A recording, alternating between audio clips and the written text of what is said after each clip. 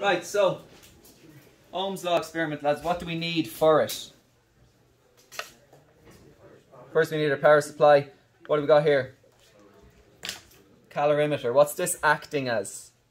A resistor. Okay, so this is the resistor. And what are we measuring from the resistor? The? The voltage, the potential difference. So you're measuring the potential difference of the, the resistor. What have we got here? A variable resistor, okay? What are we doing with this? Changing the resistance, okay? Um, and that changes the, we're actually going to control the voltage here, okay? And then we're measuring here as well, amps, the current. So lads, the voltage, the potential difference, we measure that in parallel with the resistor.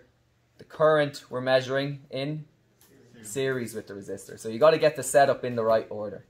What we're going to start with, lads, um, is we're going to get a potential difference of one volt. So we're going to change the uh, power supply here, bring it right down, and then you also change the variable resistor. And what you do is you want to get one volt on your voltmeter. All right, so we have one volt there, and we have a reading on the ammeter, which is about um, 0.25. All right, so write that up.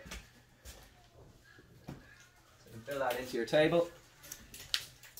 Then we just go up to 2 volts on the voltmeter. So you can use the variable resistor to try and get up there. If you can't get all the way up, then what you do is you change the voltage here and you move it again until you get to 2 volts there. Okay, so remember it's always the, the voltage across the, the uh, calorimeter that we're looking for. So we have 2 volts there and the current now is 0.42.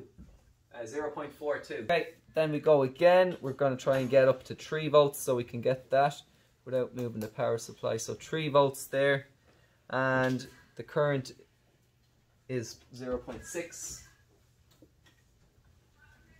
then we go up to 4 volts, flick that up, move this until we get to 4 volts, just under 0 0.8, so we'll say 0 0.78 approximately. And then the last one we want to get up to 5 volts.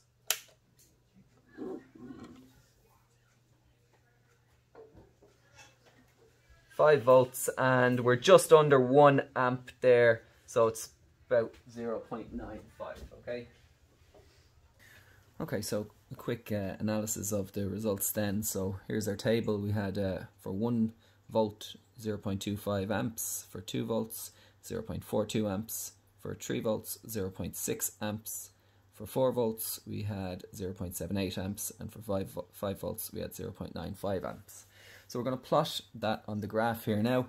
Um, so 1 volt and 0.25 amps, 2 volts 0.42 amps, 3 volts was 0.6 amps, 4 volts was 0.78 amps, and then 5 volts was 0.95 amps.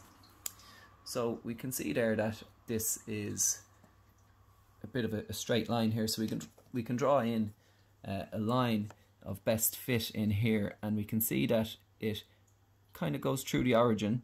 Um, it's very close to it if not perfectly through the origin. Like so. And this shows us that current is directly proportional to the potential difference. So I is proportional to V and this is Ohm's law. This verifies Ohm's law